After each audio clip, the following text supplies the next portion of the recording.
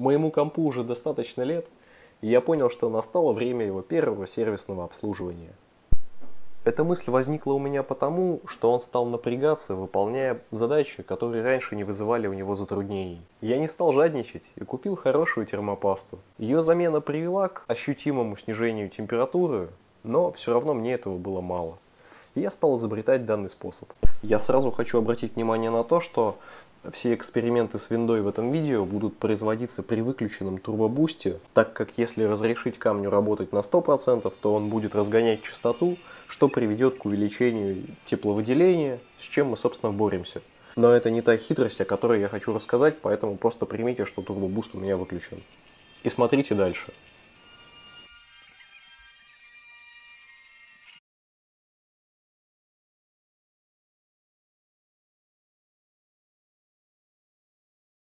Из видео видно, что сам процессор и интегрированная видеокарта нагрелись практически до 100 градусов.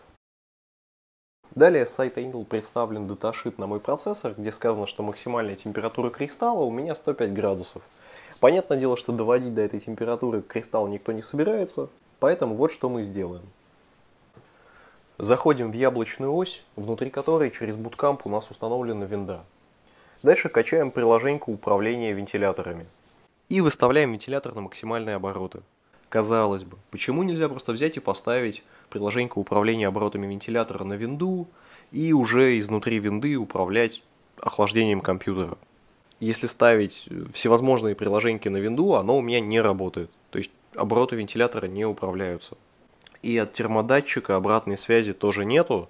То есть он пишет сотка, при этом не прилагает никаких усилий, чтобы с этим бороться.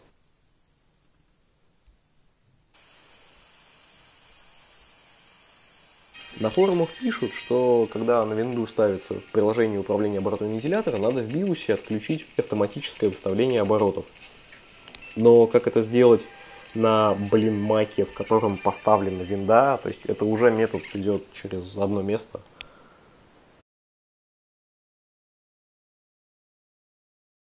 Так что вот вам рабочий метод, как играть на маковских ноутбуках, при этом с возможностью продлить жизненный ресурс вашего компа.